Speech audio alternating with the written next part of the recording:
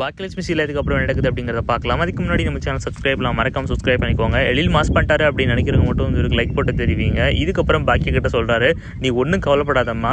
இந்த வீட்டை நம்ம கண்டிப்பாக வாங்கியே தீர்றோம். இதுக்கப்புறம் அந்த ஆளோட முகத்தில் நம்ம கண்டிப்பாக கறியை பூசி ஆகிறோம் அப்படிங்கிற மாதிரிலாம் சொல்லிட்டு இருக்கிறேன் அதுக்கு நம்ம பாக்கியா சொல்கிறாங்க நான் ஒன்று ஒன்று தப்பாலாம் ஒன்றும் நினைக்கலப்பா. நீ கண்டிப்பாக இந்த வீட்டை வாங்கி தீர்வேன் எனக்கு நம்பிக்கை இருக்குது அப்படி உன்னால் வாங்க முடியாட்டாலும் எனக்கு ஒன்றும் பிரச்சனை இல்லை. உன்னை நான் எந்த தப்பும் சொல்ல மாட்டேன் அப்படிங்கிற மாதிரிலாம் சொல்லிட்டு இருக்கிறாங்க இதுக்கப்புறம் நம்ம எழில் வந்து யோசிக்கிறாரு நம்ம அம்மாவோட கஷ்டத்தையும் யோசிச்சு பார்க்கணும் அப்படின்னு சொல்லிட்டு. இன்னொரு பக்கம் செலியன்கிட்ட நம்ம ஜெனி சொல்கிறாங்க இந்த மாதிரி இந்த வீட்டில் வீட்டில் உனக்கும் பொறுப்பு இருக்குல்ல நீனும் அவங்களுக்கு ஏதாவது பண உதவி கொடுத்து ஹெல்ப் பண்ணலாம்ல அப்படிங்கிற மாதிரி கேட்குறாங்க அப்போ வந்துட்டு நம்ம செலியன் வந்து மனசாட்சியே இல்லாமல் இந்த மாதிரி நான் எதுக்கு இந்த வீட்டுக்காக நான் பணம் கொடுக்கணும்? எனக்கு என்ன தேவை வந்திருக்கு அப்படிங்கிற மாதிரிலாம் பேசிகிட்டு இருக்காரு. இதை பார்த்து செடி நம்ம ஃபீல் பண்ணிட்டு இருக்காங்க. இதனாலேயே வந்து பார்த்தீங்கன்னா வீட்டில் ஒரு பெரிய பிரச்சனை வருது. இதுக்கெல்லாம் செலியன் வந்துட்டு நம்ம பாக்கியாவை தான் காரணம் சொல்லி இதை பார்த்து பாட்டியும் வந்து பார்த்தீங்கன்னா இத்தனை நாளாக கோபி கொடுத்தா நீ சண்டை போட்டுட்டு இருந்த. இப்போ வீட்டுக்குள்ளேயே வந்து பசங்க கிட்ட நீ இந்த சண்டை போட்டுட்டு இருக்கிற ஈஸ்வரி பாட்டி நம்ம பாக்கியா வந்து சத்தம் போட்டுட்டு இருக்கிற